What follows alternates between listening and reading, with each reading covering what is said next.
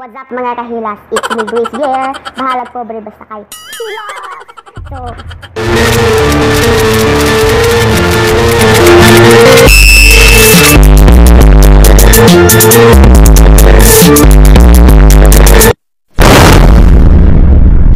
Nadik pa no?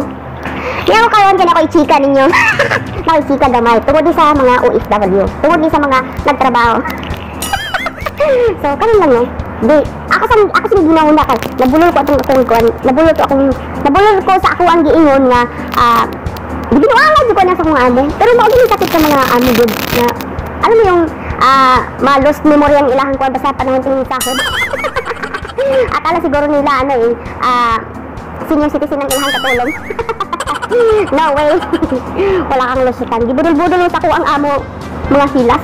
Gibudol-budol sa akong amo kasi kada kuan niya ang exactly gid karon nga date gid. Exactly na date gid karon. Karon nakita ni. Isisi siya. Isisi lang pud ko pero ako na muna nakuha ko na kita nang ako ang sweldo. Karon kay gitutukan ko niya. Murag na nice. Tama ba yun din? Nice? Ay, na hip, hip to hypnotize. Nahito, na-hypnotize ko. Diyos ko, Virgin. Nawala ako ang memory. o sadyang nawala akong memory, di. Wala, nalimtan ako. Kaya karon, after uh, 48 hours, siyempre, umag, bu, bu, buntag na. Umaga na. So karon, nag, nag, ano na, nagkambat memory ng ano ko, isip. Tapos pagka kinabukasan, wala na ko nitutok niya. So baka ma-hypnotize ko. Tama ba? hypnotize pala. Sorry. Peace. Na-hip to. Nice. Hypnotize. Tama ba? Hypnotize. Na-hypnotize. So karon wala ko nitutok kay at dito ni ko nitutok sa ubos.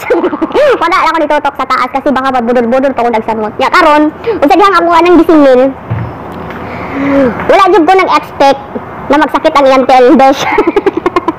kada padala na ako, hypnotize na ko niya sa dihang, kada, pa, kada ingon ako nga ipadala, magkasakit gina siya. So, alam mo yon Karon, kalimot, diya sa ako ang kwarto, wala di calendar. Wala di calendar sa ako ang cellphone, wala calendar. Mga tanan akong check sa karon nga na. Karon, kay hypnotize ko niya, gibudol-budol na ko niya. Kalimtan-kalimtan lang niya ang kuwang kuwan. Tapos, ah, magkasakit siya pag tuwing ano, tuwing padala na. Masakit ang yung tilha, pero araw-araw siyang umalis. So, sa, asa ka mga bobo nana. so, karon, mawala man ang mga wallpaper sa kuha ang kwarto, ang kalendar nga dako kaayo, ako din ipapilit. Pati sa cellphone ako, gibutangan ako siya kalendar, besh. Gibutangan ako siya kalendar kay, kasi ba, makalimtan, makalimtan na pud basis, Diyos ko. O niya, sabihan.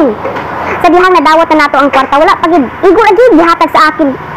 Gihatag agad sa kuha, dahil, siyempre, nagbilang ko, ha, salamat. Matagal kita pinaghirapan ng isang buwan, pero pagkatapos ay lumipad ka lang sa ano, malayong lugar at Diyos maresip.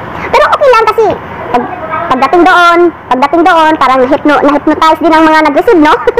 na, na, ano ba, na-hypnotize mo, gibudol-budol po ko nila ba? Pati sila, gibudol-budol ko nila, ay wala sila kadumdum, bisag, kain ko man lang, o ansa. wala na, nagsiyagan na sila dito do. Tapos pagkahuman, sus, alam mo yun, ano, ah, Basta, ikutin nyo na ito na ako. Basta kayo ako na-hypnotize ko ito. Kung kinsa may nakarelate sa ako, mag-comment na dito. Ugwa mo, ay kalimpi. Subscribe ko ninyo. Ang pilas na bae. Sa akong mga pe- sa akong page. Sa akong mga page. sa akong page. I-like and follow sad ko ninyo. This is a vlog forever. Bye!